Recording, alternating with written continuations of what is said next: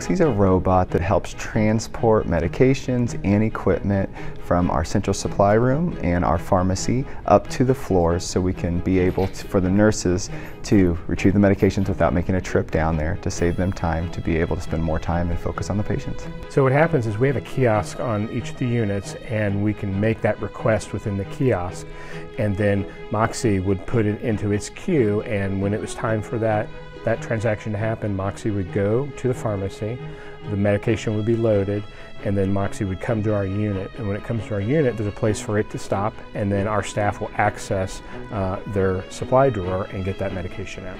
This way, the uh, patient care is not interrupted by taking away the nursing staff who is taking care of them by having to run down and pick up their request, and it doesn't take away from our workflow either. It gives us just another tool to deliver medications to the nurses in a, in a timely manner that we didn't have in the past.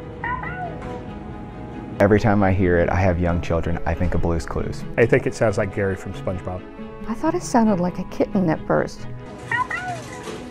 The ability to leverage technology with the goal of offloading work for the nurses to be able to spend more time with the patient is, is something that's very positive for everybody involved.